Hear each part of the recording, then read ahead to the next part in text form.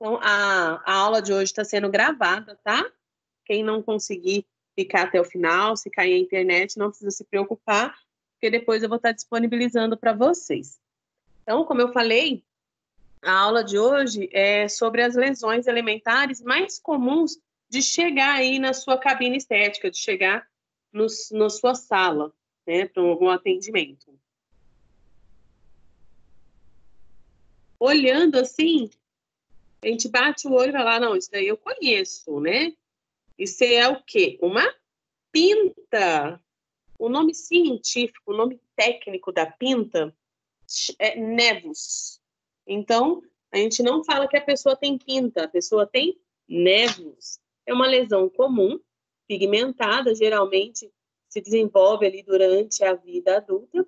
A maioria das pessoas desenvolve essas pintas, né, esses nevos, durante a vida adulta.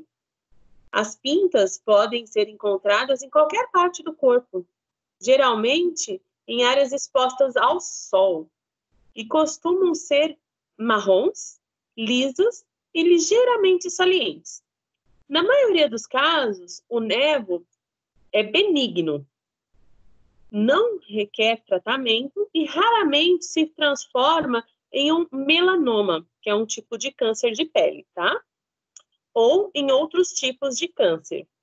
O nevo que muda de forma, cresce ou escurece, deve ser avaliado para remoção. Tá vendo essa foto? Que a, as bordas são redondinhas, são retas, né? A gente fala para saber se uma pinta, né, é um tipo de câncer ou não, é se ela estiver com as bordas des desiguais, né, irregulares, se ela crescer, se ela expandir muito o tamanho dela, ou se ela tem pelo, né, tem um corpo estranho nela. Então a gente tem que ficar sempre ali de olho, ficar observando. É lógico que a gente nunca vai falar para o cliente: meu, isso daí é um câncer, você vai morrer, procura um médico. Não, a gente tenta ser o mais tranquilo possível e falar: nossa, você já chegou aí, né, dermatologista, para ver essa manchinha? Né, e, orienta ele: olha, eu acho que seria interessante procurar né, um dermatologista para ver que tipo de manchinha que é essa, qual o tratamento mais indicado. Nós não mexemos em, em alguma pinta ou mancha que você vê que está com uma característica estranha, né? Com as bordas irregulares, com eh, se ela tiver mais grossa do que a pele, mais alta do que a pele, né? Se a borda dela não estiver padrão, né? Com a borda lisinha e redondinha, ou se tiver pelo. E se a cliente reclamar que ela aumentou muito o tamanho, né? De, uns, de tempos para cá, ela aumentou o tamanho dela. Então, a gente já orienta o cliente do jeito mais calmo possível para procurar ali um dermatologista. Pode ser benigno ou não, mas 99% das pintas são benignas, né? Dos nervos são só manchinhas mesmo, são partes pigmentadas ali da pele da pessoa. As nossas células, elas têm memória. E o ideal seria a gente utilizar o protetor solar a partir do sexto mês de idade, né? Com seis meses de idade, já é indicado o uso do protetor solar. Se a gente não usa o protetor solar, demora mais para fazer esse, esse uso frequente do protetor, a, a, a melanina vai saindo, né? Das primeiras camadas, das camadas mais profundas, até subir, que forma essa manchinha. Por isso, o nevo é mais aparente na vida, na fase adulta, porque é a memória da célula mostrando, olha, você não passou protetor, então ele vai aparecer ali as manchinhas, tá? Esse, essa melanina que desenvolveu ali. Então, uma, uma pinta, um nevo é uma lesão pigmentada, é uma lesão é, elementar, primária, pigmentada. A gente não precisa se preocupar com ela, só se ela estiver com as bordas irregulares, como eu falei, tá bom? Essa é uma pinta vermelha. Se pinta, a gente chama de nevo. A vermelha, a gente também chama de nevo. Porém, rubi.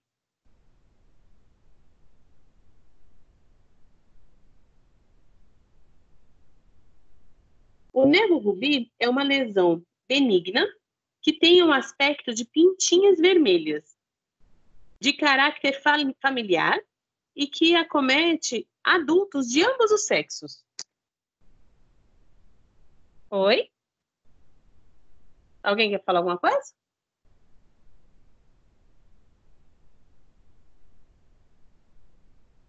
Boa noite, Lucas. Você chegou aí?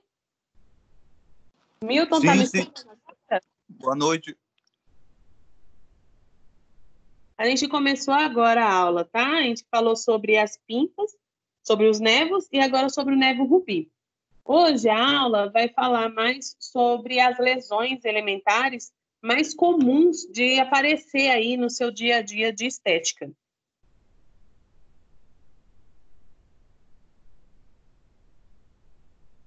Ok. As okay. famosas. Joia.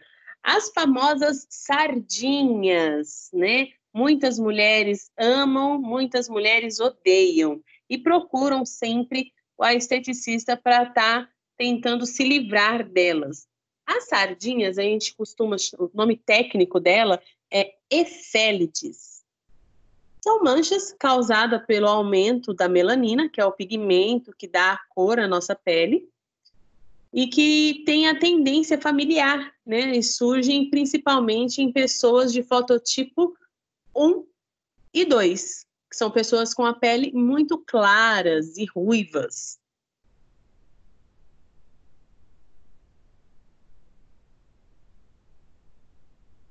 Esse é gostoso, gente. Esse é o chantelasma. O chantelasma é um pequeno depósito de gordura. Ele geralmente, né, de gordura e de colesterol. Geralmente acontece ao redor dos olhos. Pode ser tanto na pálpebra quanto na parte inferior. Então, é um, de, é um pequeno depósito de gordura e colesterol. Não, não é todo mundo que tem isso. Geralmente, só é, é pessoas mais velhas e com colesterol alto. Por isso que está acumulando aí. O meu não está aparecendo slide. Ana, eu coloquei os slides lá no grupo do WhatsApp. Se você quiser ir acompanhando por lá, a gente está no slide número 5. Ah, tá, que eu, tô, eu tava acompanhando aqui, é parou de aparecer. Eu vou para lá então. É porque às vezes a internet demora para carregar, mas você consegue mexer no WhatsApp e me escutar. Tá bom então, vou para lá. Então tá. Não precisa sair não, tá? É só você e, e já direto, você tá no celular? Isso, tô pelo celular. Já abri o WhatsApp aqui, não sai não, tá bom? Obrigada. Nada.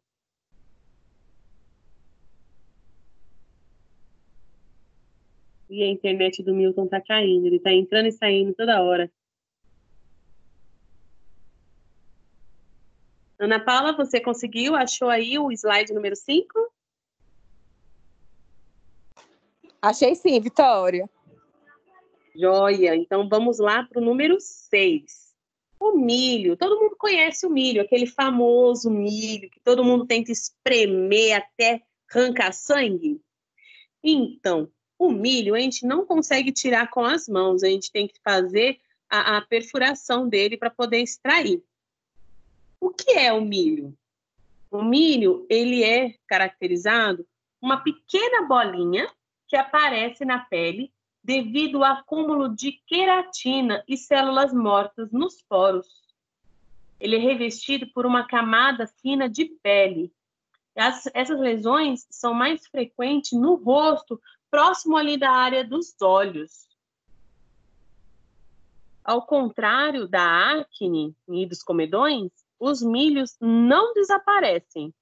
Eles não ficam vermelhos e não têm dor é só um incômodo estético mesmo, só fica feio mesmo. Daí a gente tem que lancetar, né, a palavra certa, ao invés de furar, é lancetar com aquela agulha de insulina. Então, você dá uma lancetada, você vai dar um, um vai furar ali no, no centro dela, estica a pele com uma mão e com a outra você vai passar aquela agulha de insulina e delicadamente com os dois dedos, você né, com os dois indicadores, você consegue tirar. É um tipo um cristalzinho de queratina. O Milton está falando lá no chat que na pele dele tem muito milho. Bora fazer pipoca. Vamos lancetar todos esses milho aí.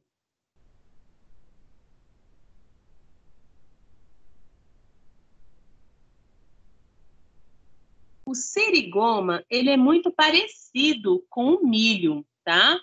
A gente tem que tomar cuidado. Ah, é da sua mãe que tem? É porque você não colocou a palavra mãe. então ajuda ela, tira esses milho dela, tá bom? O serigoma, ele é muito parecido com o milho. A diferença é que, ao invés de ser um cristal de queratina, o milho, o serigoma, ele basicamente é um tumor, só que benigno. Ele ocorre com aumento do ducto sudoríparo intraindérmico. São os responsáveis pela produção de suor ao invés de estar, tá, essa bolsinha está acumulando cristal de queratina e de células mortas, está acumulando ali suor. Então, é uma bolsinha mais mole, tá? Não é tão durinha quanto o, o milho. E também não é, não pode ser extraído igual o cravo. Ele aparentemente está ligado a fatores genéticos e aparece com maior incidência em mulheres, principalmente em pele clara.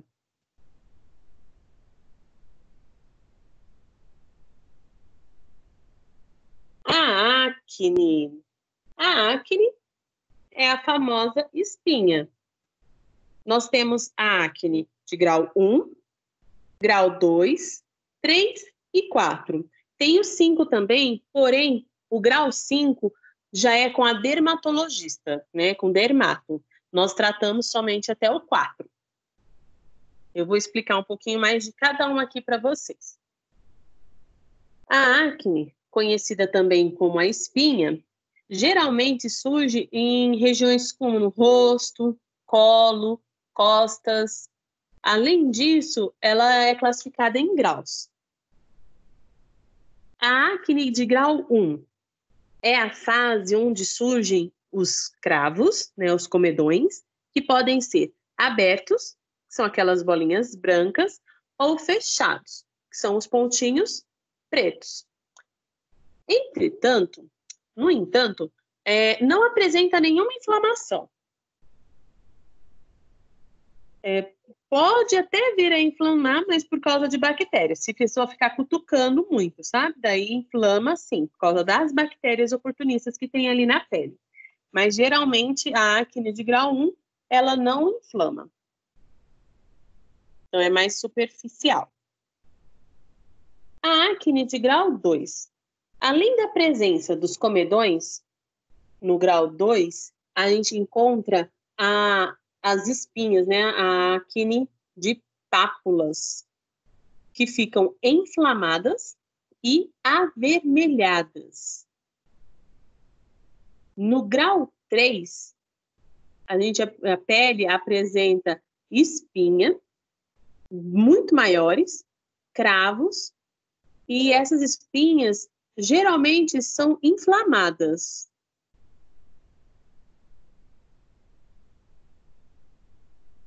E também pode acontecer cistos, que são aquelas internas. O Milton está falando lá que ele tem bastante, bastante cravo nos peitos. É horrível. Tem pelo no seu peito? Pode ser por causa do pelo. Conta aí para mim.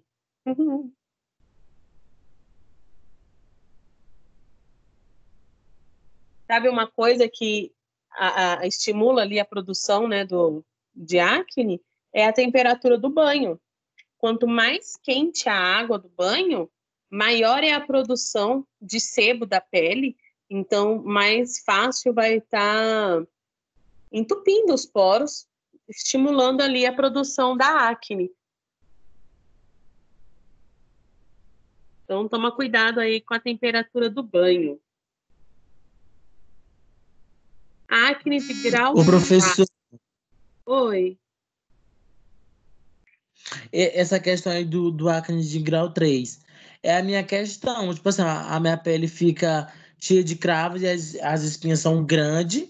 E também tem as internas que, que nascem sempre nessa lateral do rosto, na parte do maxilar, na parte mais, mais firme do maxilar.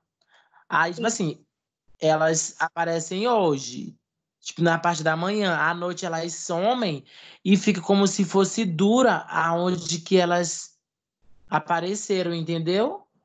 Entendi. Fica tipo um, um nódulozinho ali, né? Um cistozinho. É, isso leva tipo uma semana ela com esse nódulo. Aí depois que some, sempre, mas sempre fica uma mancha enorme. Então tem que usar o secativo para melhorar, que daí a, a, a gente consegue secar ela por dentro. Vou fazer isso porque na outra semana eu vou na dermatologista aí. Vou esperar assim também umas dicas dela. Isso, não esquece de falar isso para ela. Anota no papel, senão você esquece. É tanta coisa para falar que chega lá na hora que você esquece. Pois é. é. A Lara também escreveu lá no chat que a amiga dela tem gasta horrores para melhorar. Verdade. Quem tem acne, né, do grau 3, 4, tem que cuidar muito bem da pele, né? Porque senão ela inflama e vai só piorando os graus. Ó, na acne de grau 4, além de tudo aquilo que a gente já falou, né? Dos cravos, né? dos comedões abertos, comedões fechados, da acne, da, do pus, né? Da da pápula, da pústula, a gente ainda encontra a, a acne conglobata, que são vários cistos, então são várias acnes internas e é doloroso. E pode dar, além da cicatriz, né, aquela cicatriz mais profunda, ainda pode apresentar febre. Então, mostrando ali mais o sinal de inflamação. Então, é, realmente é muito desagradável para quem tem, né? Tem além do incômodo estético, tem o incômodo realmente ali da pele, porque tá doendo, tá com febre, tem o queimor, né? E a dor. Esses são, de novo, ali a, a fotinho junto com, com os graus da acne para fixar aí para vocês. Então, o grau 1 são só os cravos, sem lesão, né, sem, sem espinha, sem inflamação. No grau 2, tem cravos, tem as acnes, né, tem espinhas, pequenas, algumas lesões inflamadas com alguns pontinhos amarelos de pus, que são as pústulas. É só lembrar, né? É, tem pus, então é pústulas. Não tem pus, tá só a ali sem o pus, é pápula. O grau 3 tem os cravos, as espinhas, as espinhas são pequenas, porém as lesões são maiores, mais profundas, dolorosas, avermelhadas e inflamadas, começando ali a surgir os cistos. E no grau 4, os cra tem cravo, espinhas pequenas, espinhas grandes, lesão ciática, acne congoblata, com muita inflamação e o, e o aspecto de desfiguração, né? A pele, a cara da pessoa fica toda inflamada, toda inchada, realmente desfigurando ali.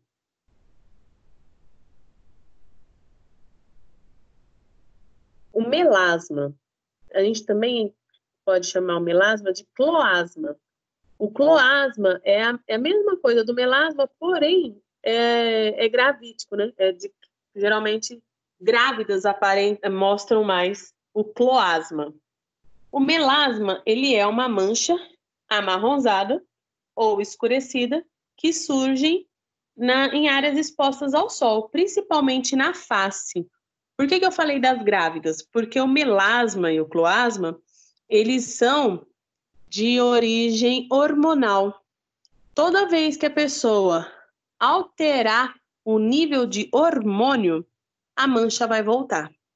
Ela pode fazer o tratamento estético para clarear a mancha, pode passar protetor, pode hidratar a pele, cuidar todos os dias certinho.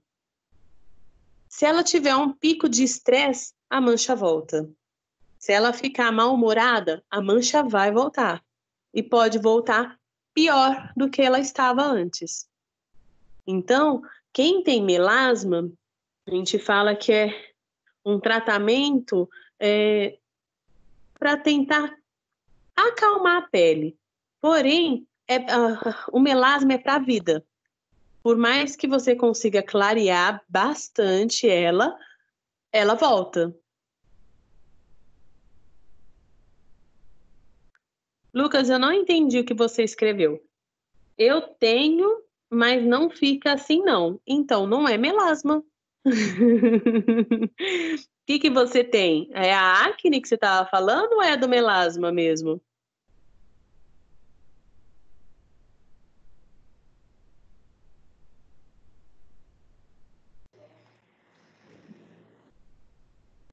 É, eu confundi aqui. Não, é porque, tipo assim, eu tô. Eu, eu sou bastante ansioso, então sai umas feridinhas, sabe? Aí depois que sai seca, aí ela fica com, com uma manchinha. Entendi. É diferente. O melasma, ele não, não cria feridinha. Já vem a mancha de uma vez. Entendeu? Não, não. aconteceu nada. Não Entendi. feriu a pele para dar a mancha.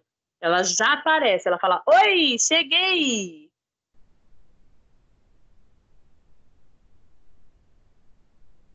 O cloasma é a mesma coisa do melasma, porém aparece nas grávidas. Geralmente, é, a gente fala que é aquela asa de borboleta.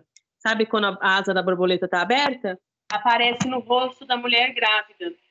Aparece testa e bochechas. Daí dá a impressão de que tem ali uma borboleta no rosto dela.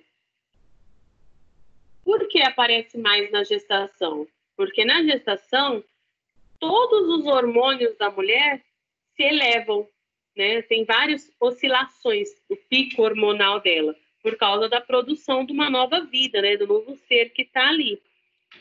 Por isso é muito comum o cloasma, né? A, a, que é o melasma na gravidez. Mesmo se a pessoa não se expõe ao sol, ele aparece. Por quê? Igual eu falei no início, as células têm memória. Então, é o sol que você pegou ao longo da sua vida sem proteção. Então, a gente consegue, nos tratamentos estéticos, amenizar essa mancha, tá? E é legal vocês saberem e explicar isso para a pessoa, porque elas chegam, né, no nossa cabine com aquela esperança de que você vai tirar e vai resolver 100% a mancha dela. E não, não funciona assim, né? A mancha, para poder tratar uma mancha, tem que ser devagar, com paciência, sem muitas esperanças, sem muitas expectativas no resultado. Por quê? Se você for muito agressivo, colocar um ácido muito forte, você pode fazer um efeito rebote. Ao invés de clarear a mancha, você pode piorar a situação e deixar ela ainda mais escura. Então, com manchas, todo cuidado é pouco. Vamos começando sempre devagar e gradativamente clareando as manchas.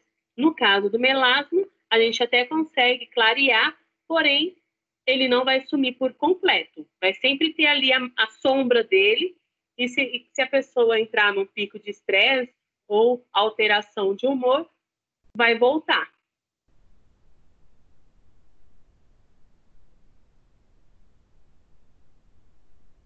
A rosácea, que eu estava querendo falar com vocês ontem, que, que, veio na minha boca e depois sumiu, era a rosácea. É, a rosácea, A gente é a aparência mais sensível ali da pele.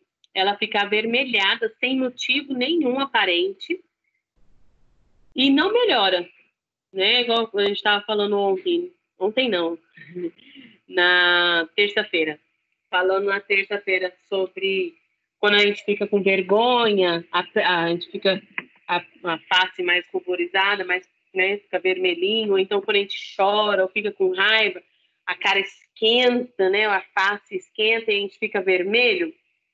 Com o tempo, né, a gente vai acalmando, a circulação vai voltando ao normal, a nossa pele volta ao normal. Quem tem rosácea não consegue voltar ao normal. Fica sempre muito vermelho a, a face. A pele é mais sensível, mais ressecada, por a gente tem que tomar muito cuidado com ela. Não é qualquer coisa que a gente pode fazer nela por causa da sensibilidade dela. Ela não pode ficar exposta ao sol, né? Tem que estar passando bastante protetor solar e tomar muito cuidado também com a alimentação, porque se comer coisas, né, bebidas alcoólicas, bebidas quentes, né, comida quente com muita pimenta, vai piorar, vai agravar ali o quadro da rosácea, vai ficar mais vermelho ainda a pele dela.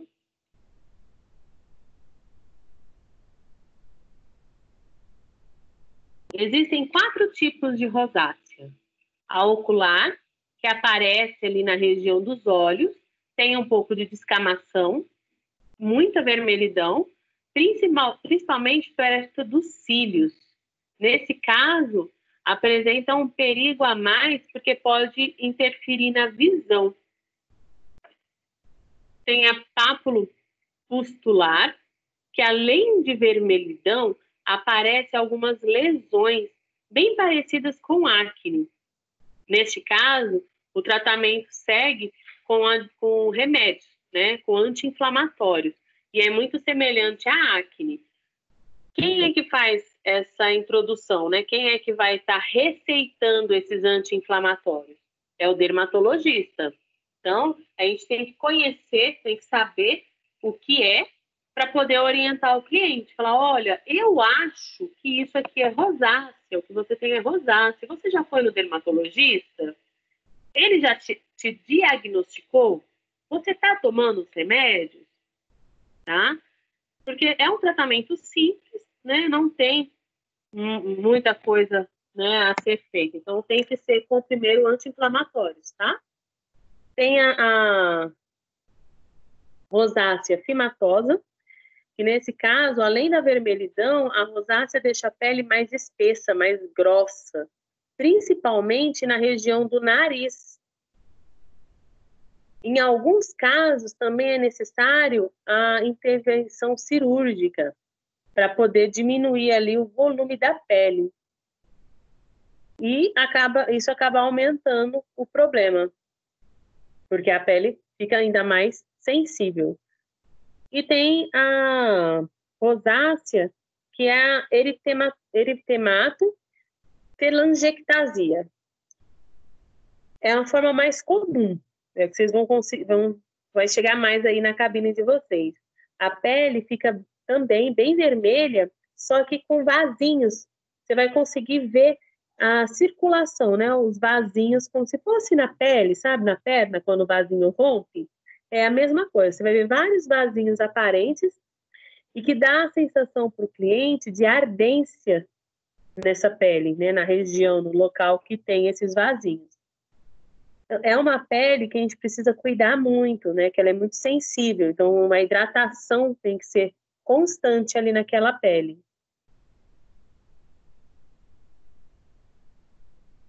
A hipertricose também é conhecida como a Síndrome do Lobisomem. É uma doença caracterizada pelo crescimento de pelos em todo o corpo. Pode acometer homens e mulheres de diferentes idades. As causas podem ser genéticas, hormonais ou pelo uso de anti-inflamatório como cortisona, que é muito usado aqui no Brasil. Pega água, Obrigada. Falei demais, tô com sede.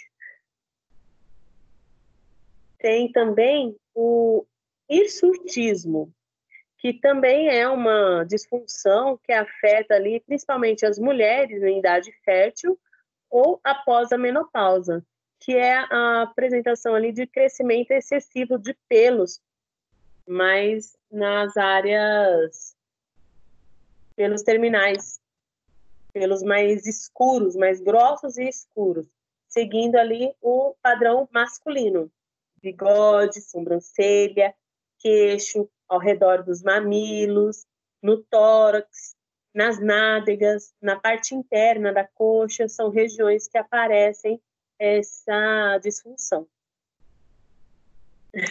Lucas, Deus me livre. É a mulher barbada.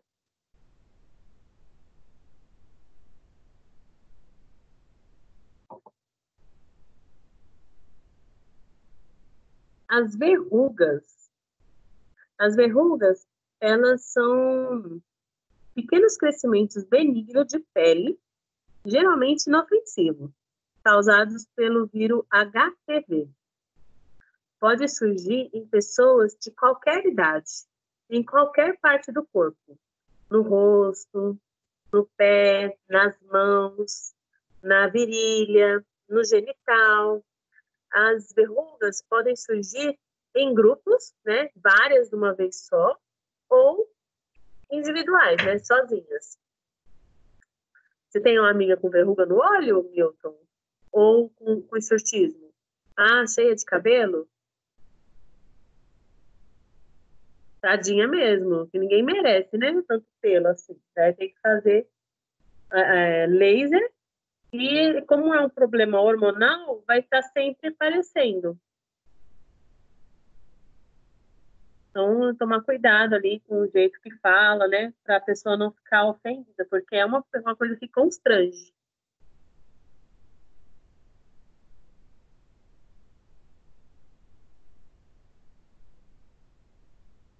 O rosto dela fica cheio,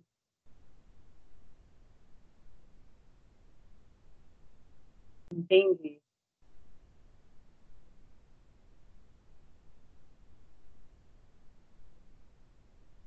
E esse aqui, ó, é a ceratose seborreica. Agride sim, Lucas. Ó, o Lucas está perguntando lá no chat. Esses cremes de depilar agride muito a pele, professora? Vamos pensar assim. O creme, ele é química pura, é como se fosse uma soda que vai derretendo o pelo. Se, se tem força suficiente para derreter o pelo, ele pode agredir a sua pele também, pode causar queimadura na pele da pessoa. Então, ele é perigosíssimo, né? Esses depiladores é, químicos são um perigo para a saúde. Vai na depilação a laser, vai no, no depilação com cera quente, depilação na linha, mas não vai na nessa química não, tá bom? Que realmente é, é muito forte, então é perigoso. O uso constante dele é perigoso. Né? Usar uma vez na vida e outra na morte ainda vai, mas todo mês, toda semana, porque é como, né, ele vai derretendo ali seu pelo.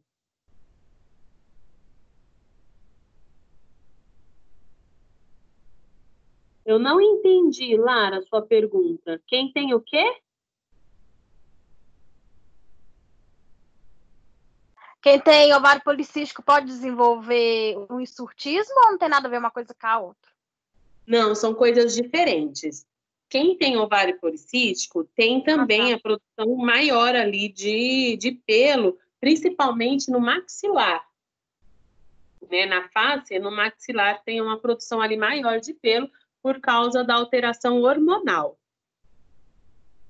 São coisas diferentes, parecidas, mas diferentes.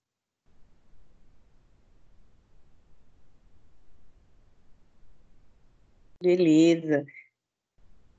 Então, ó, até o, o, Milton disse que ele aparece bastante acne na região do maxilar. Então, a acne, o pelo que aparece nessa região do maxilar é de fundo hormonal. Tá? Alterações hormonais, por isso que ap apresenta pelo e acne nessa região. Quando a gente vai ficar menstruada, né, as mulheres, aparece muito na, na região do mento, né, na região do maxilar. Por isso, por causa da, da nossa ovulação, por causa da troca ali de hormônio, alteração dos hormônios. Esse eu ainda não falei, né? Eu já falei. Não, acho que eu não falei desse. Vitória. Oi. É, as verrugas são causadas só pelo vírus do HPV? Não, existem vários tipos de verruga. As mais comuns são causadas pelo vírus HPV. Não é porque Mas- você apontou para estrela. Eu não entendi, cortou. Existem vários tipos de vírus que podem trazer o surgir né, a, a verruga. O mais comum é o HPV. 90% dos casos são HPV. Ah, tá, entendi. Tem gente que fala que se apontar para a estrela vai nascer uma verruga no dedo. Né? Então não, a estrela não tem nada a ver com isso. Já apontei e não me aconteceu, eu testei. Então, são co- só coisa dos antigos mesmo. Ei, Vitória. Oi, Luciana. Boa noite, pessoal. Tudo bem? boa Boa noite. Pessoal, vim aqui conversar com vocês um pouquinho. E às vezes a gente não consegue estar todos os dias aqui na sala. Às vezes eu entro, fico um pouquinho e saio, não falo nada, entro e, e acompanho vocês às vezes no zap, essas coisas todas. Mas aqui é, eu vim falar com vocês, e alguns alunos estão me questionando, ah, já tem data para a gente retornar para as aulas presenciais, a gente ainda, eu até ligar aqui, né, a câmera, que às vezes a gente já fica com vontade de, de ver a cara das pessoas, né? Estão me vendo aí já? Ou não? Ainda não. Não? Vamos ver se vai dar certo. É, às vezes a gente fica com. é, a gente ainda não tem essa data, tá? De retorno da- das aulas presenciais. Como a gente está acompanhando aí pelos jornais e tudo mais, as escolas devem ser uma das últimas instituições a, a retornar, né? Devido ao número de pessoas, devido a estar em sala de aula, e aí a gente não tem essa data certa, né? Não, não vamos criar expectativa. Enquanto isso, a gente vai estar fazendo com as aulas remotas de vocês, né?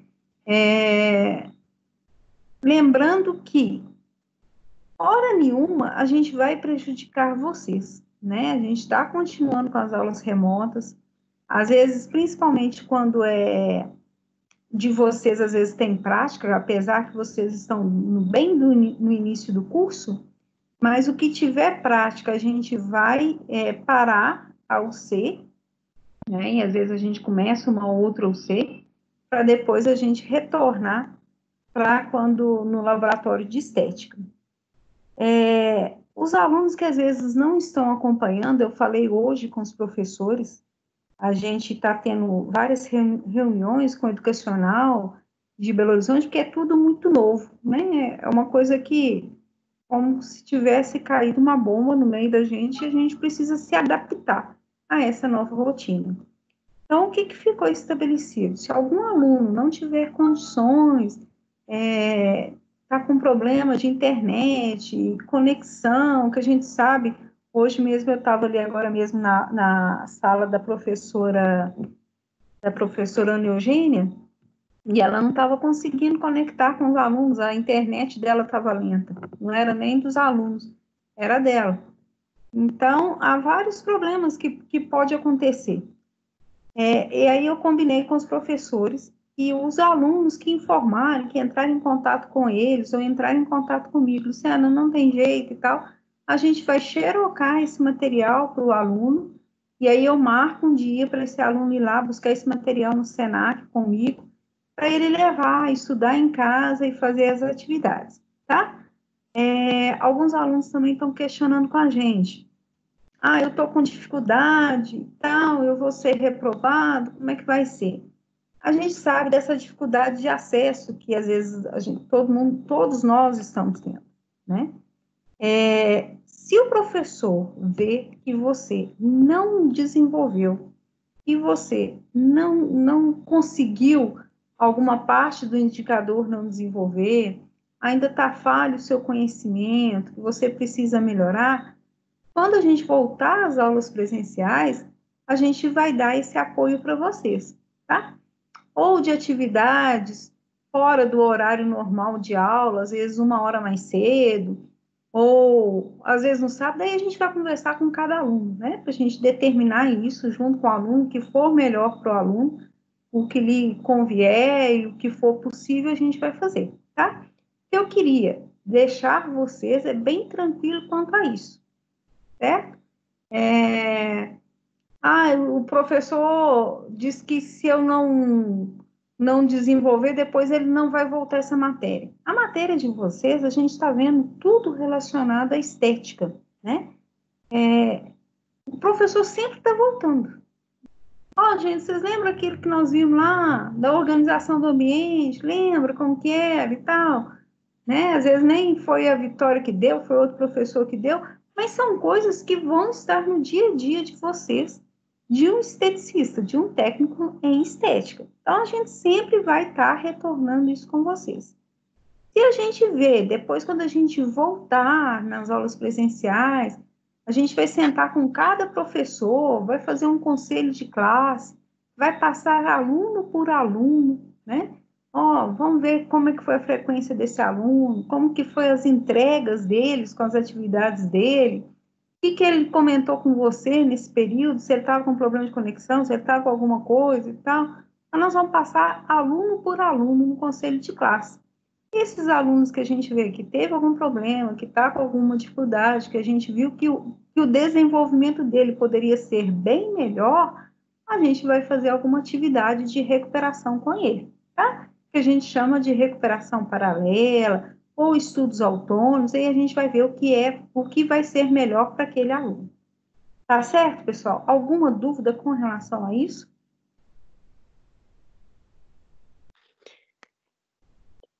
É, Luciana. É, Sim.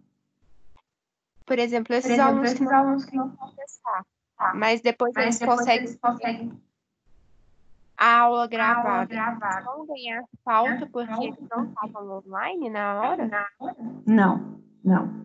A gente. Quem é que perguntou? Eu não, Stephanie. Agora eu vi aqui. Stephanie, não. É, até porque o que a gente sabe é que esses alunos, é, a gente não pode cobrar essa questão da presença do aluno aqui no, no, no ambiente virtual em tempo é, no tempo agora normal, por quê? Porque há, há vários problemas, né? A gente tem aluno que ele que o telefone dele não tem acesso à internet.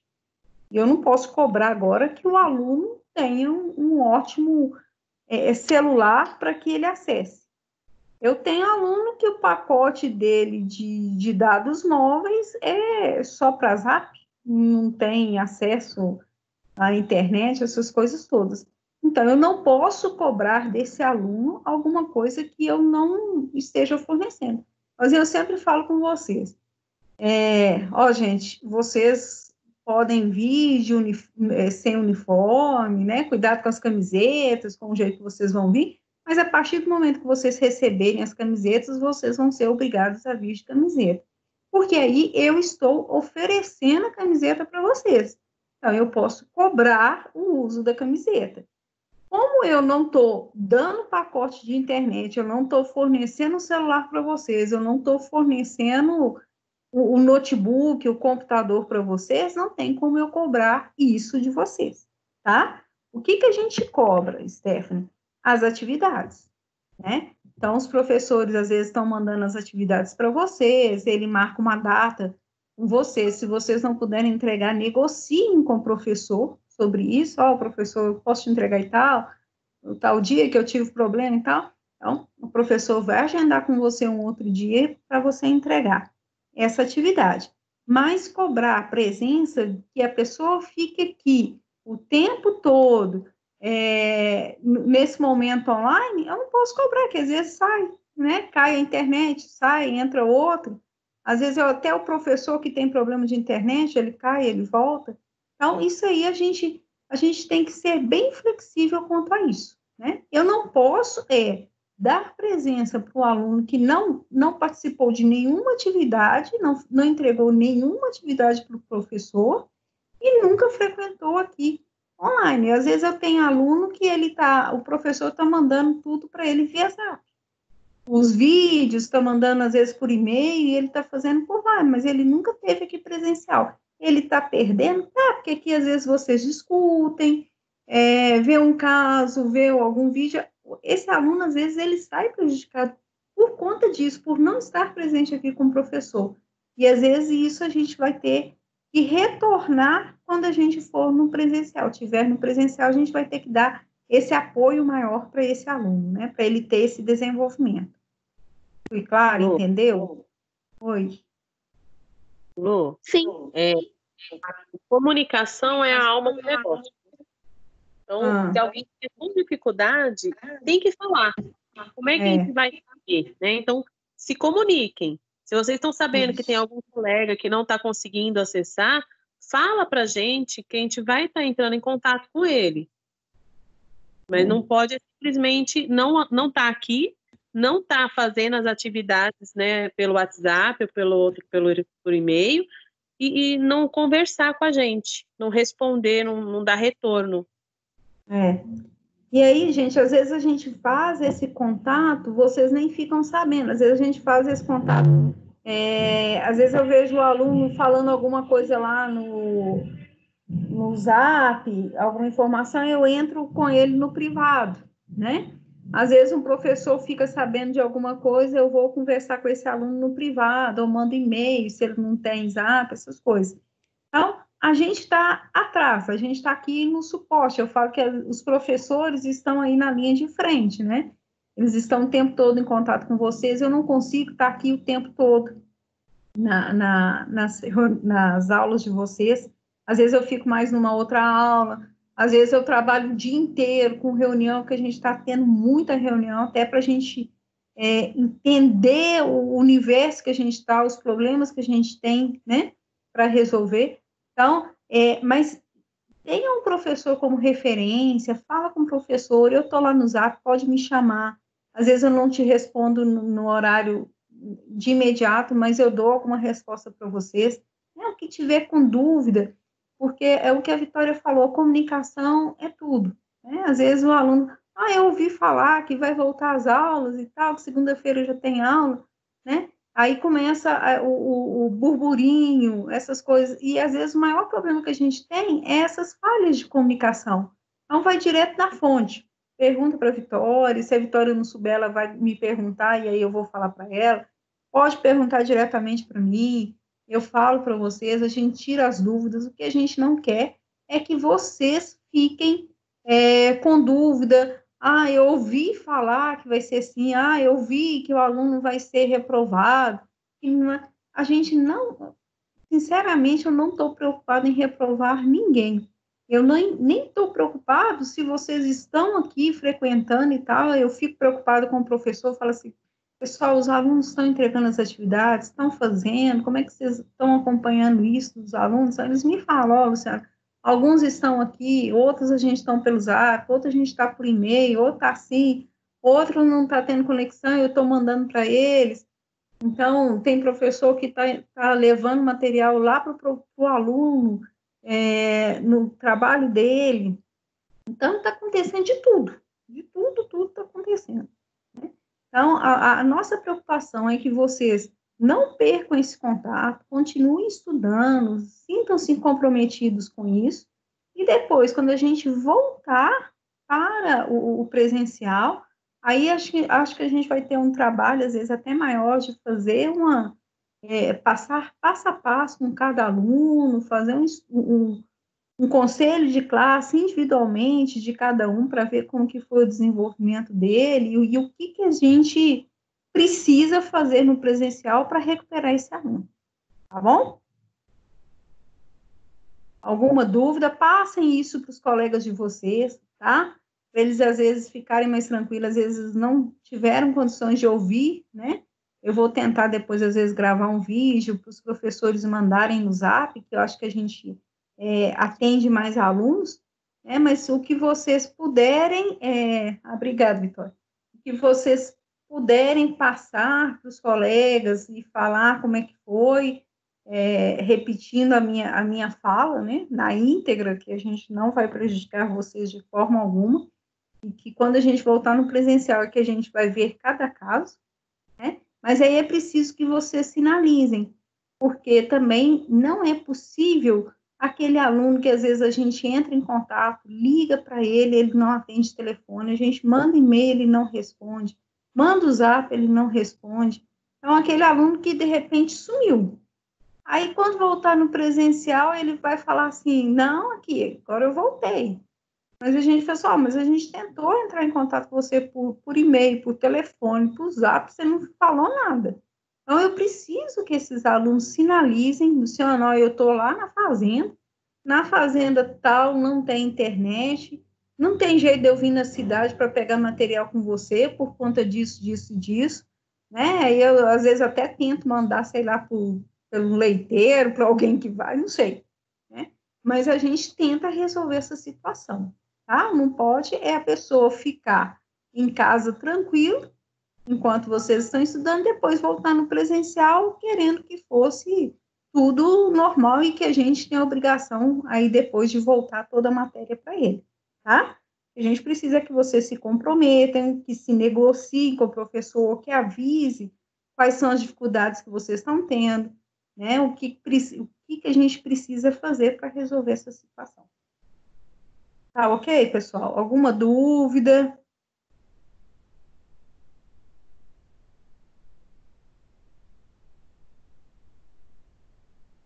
Tudo certo?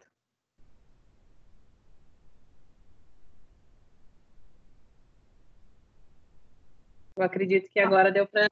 Tá tudo ok. Tá ok, gente?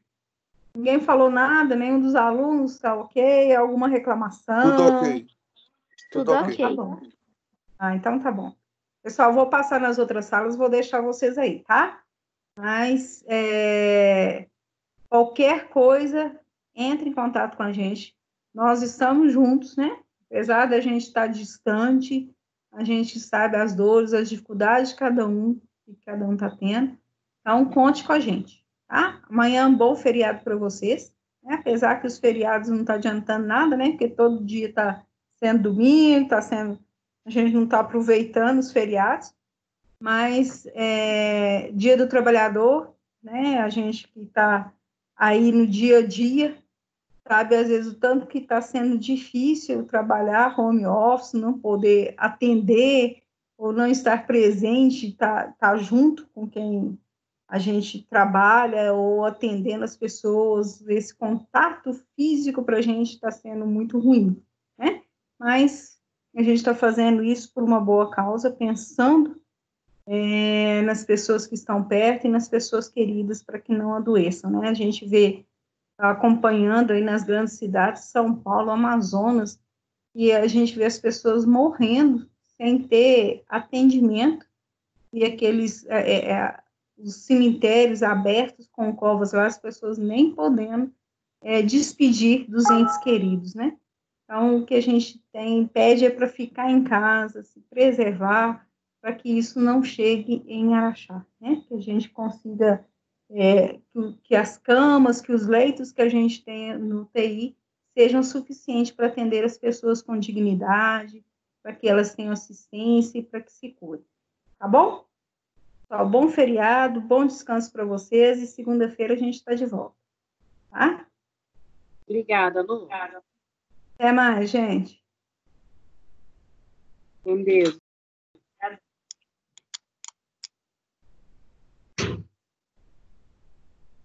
Espera que eu vou compartilhar com vocês o slide de novo, tá bom?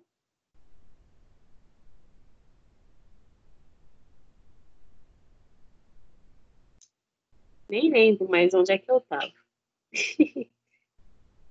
a gente falou da Acne. Melasma, rosácea. Aqui. Essa é o C4, não é? Sim. Vou preencher minha nova matéria aqui, porque acabou. Só, só carregando aqui, tá?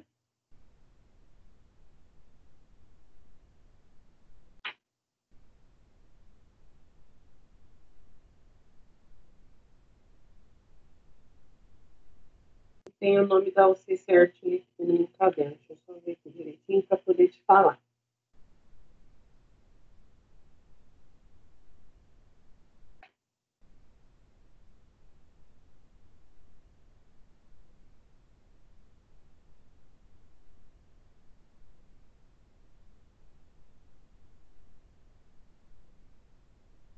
Bom, Não é específico mas, é, é o C4, sim. É, se eu não me engano, é realizar a avaliação da pele do cliente.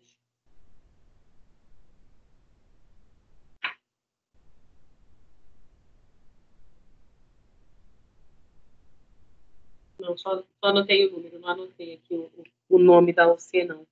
Mas é a 4. Hum. Nós paramos na ceratose seborreica, que é um tumor. Gente, é, só resumindo aqui, voltando um pouquinho na, no que a Lu falou. É, o Senac está dando o suporte para todo mundo que sinaliza que necessita desse suporte. né? se a pessoa fala, olha, eu não estou conseguindo acessar, né, a gente está vendo outras formas da pessoa receber o conteúdo. Né? Eu me disponibilizei para estar tá fazendo chamada de vídeo, né, no WhatsApp, já que a pessoa não consegue entrar aqui no Teams. Estou dando a aula né, só para aquela pessoa, para não perder ali o conteúdo, não perder a explicação. A gente está imprimindo conteúdo para quem não tem acesso nenhum à internet, que não está conseguindo visualizar, não está conseguindo fazer nada. Para quem está, né, fala, né, queixa falando que está deprimido, que está precisando né, de um apoio psicológico, o SENAC também está disponibilizando. Tem, nós temos psicólogas no quadro do SENAC que está ajudando aí, no caso, fazendo essas terapias online com a pessoa, tá? Então, se vocês ficarem sabendo de algum colega né, da, da turma que está precisando, fala para gente, conta para gente, para a gente poder ajudar, porque essa fase, né, ninguém estava preparado para tudo isso que está acontecendo. Então, é um pouco assustador, né? Tudo isso que está acontecendo, né? Devagarzinho as coisas estão começando a voltar, né? O comércio vai voltar agora segunda-feira, mas isso não significa que as coisas vão voltar ao normal. A gente torce para que sim, mas a gente sabe que ainda vai demorar mais um pouquinho para as coisas normalizarem, né? Eu brinco que eu sou de Capricórnio. Capricorniano é conhecido por ter o coração de gelo, né? Não demonstrar as emoções. Eu estou sentindo tanta saudade de abraçar que vocês não têm noção. Eu falo que, gente, eu não sabia que eu tinha saudade de fulano, né? De cicrano. Nossa, que saudade, vontade de apertar alguém, de abraçar alguém. Então, é, é, isso mexe muito com o emocional das pessoas. Então, se vocês ficarem sabendo de algum amigo, né, que está precisando desse apoio psicológico, desse apoio profissional, fala para a gente, sinaliza para a gente que a gente está aqui para ajudar, tá bom? É. Então, era só isso, só para poder fechar ali o que, que a Luciana estava falando. Voltando aqui à nossa aula.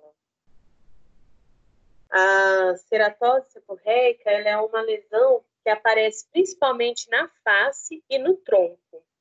São manchas arredondadas, né, como se fossem ovulares, com a coloração marrom e negra, inicialmente plana, depois ela começa a ficar elevada e pode adquirir uma certa dimensão, como se fosse uma verruga, mas não é, é uma ceratose. É um tipo diferente de lesão. É, ela na superfície dela é irregular e consistência dela é mole e fria. Tem pedacinhos de lesões que se soltam com facilidade. Se a pessoa puxa, sai na mão dela. Alguns pedaços. Pode machucar, não é legal fazer isso. Tem gente que corta com a linha, sabe? Faz, enrola e puxa com a linha. Não, não é legal fazer isso porque pode é, estimular a produção demais. Então, esse é um, um tratamento para fazer com dermatologista. O número de lesões pode estar variando ali, pode ser só algumas ou pode ser centenas, pode encher a face toda com essas ceratoses. Esse aqui é muito legal, cianose. É uma coloração azulada na pele da pessoa, geralmente em membranas e mucosas, por falta de oxigênio do sangue. Então, faltou o oxigênio, a pessoa vai aparentar ali uma, uma coloração azulada, principalmente em ponta dos dedos, ponta do nariz, lábios, uh, no, na aba do nariz. Então, é, é sutil, mas é azulada. A pessoa fica um pouquinho azulada por falta do oxigênio. E a tanlactectasia, que são os pequenos vasinhos existentes na pele da pessoa. Justamente por isso que é conhecido como microvasos ou vasinhos. Essa foto da imagem dá para ver direitinho, tá vendo? Aparece em toda a face. É mais comum na aba do nariz, nessa parte arredondada do, do nosso nariz, na parte de baixo do nariz. Mas aparece em toda a face. A psoríase é uma doença inflamatória na pele, não é contagiosa. Então, não tem problema de você estar tá ali com a, né, fazendo o tratamento na pessoa. São lesões avermelhadas, descamativas, normalmente em placas. Aparecem geralmente no couro cabeludo, cotovelo, joelhos, podem aparecer também nas pálpebras, pálpebra, né, no, no cantinho do nariz, nas bo na boca, né, na, no cantinho da boca. Então, é na mucosa, né? Não é infecto contagiosa, então não precisa ter medo de trabalhar ali. Porém, tem que tomar cuidado, porque é uma pele que está sensibilizada, tem lesão. Geralmente, onde tem lesão, nós não podemos aplicar produto para não trazer ardência, para não piorar o quadro ali da pessoa, tá? E os nossos queridinhos, os comedões, são os cravinhos, que tem tanto aberto, que tem os pontinhos pretinhos, e os fechados, que são os pontinhos branquinhos. Por que, que o aberto fica preto? Por causa do oxigênio do ar. Quando o sebo né? Que, o que, que são os comedões? É o acúmulo da queratina e de sebo da pele. Tem a obstrução do folículo piloso, que é o poro, vai estar tá ali acumulando queratina e sebo. Se esse poro estiver aberto, vai sofrer a oxidação. Quando a gente corta uma maçã e deixa na pia ou deixa em cima da mesa, ela vai ficando marrom né? Ela vai tendo ali a ação do oxigênio e vai oxidando. É a mesma coisa com esse acúmulo de sebo. Ele vai oxidando, por isso ele vai ficando pretinho. E o branco é porque os, os comedões estão fechados, então está protegido ali do oxigênio. Mas a gente tem que tirar. Tá em excesso, então a gente tem que tirar esse sebo dali. E é uma delícia.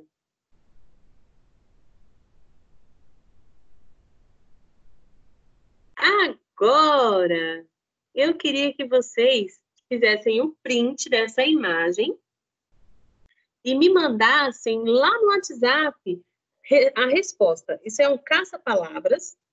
As palavras estão escondidas na horizontal, na vertical, na diagonal e de trás para frente. As palavras que estão escondidas nesse caça-palavra estão aqui embaixo. Nós temos, deixa eu só contar para ter certeza. Um, dois, três, quatro. 16, 17, 17 palavras escondidas nesse caça-palavras. Faz o print para mim da imagem e lá na sua galeria do celular tem aquele lapisinho, na hora de editar, tem um lapisinho. Acha para mim essas palavras e manda para mim a resposta no WhatsApp. Ok?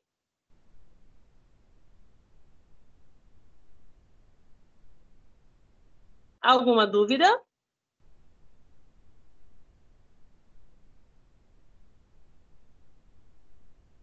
Não, Oi? não, tudo ok. Ok, sem dúvidas. Então tá.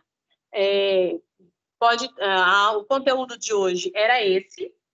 Espero que hoje tenha ficado mais fácil de entender, mais gostoso. Todas as lesões que nós falamos hoje estão aqui nesse caça-palavras, tá? Printa e manda para mim. Se conseguir ainda hoje, melhor ainda. Tá. Tá.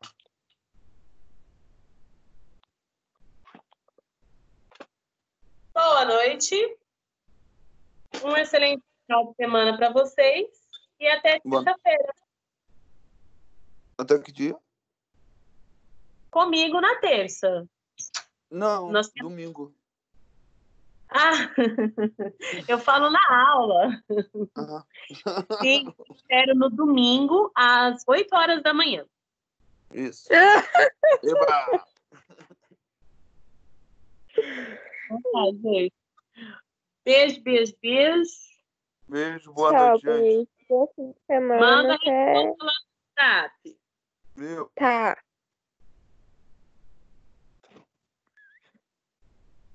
Ai,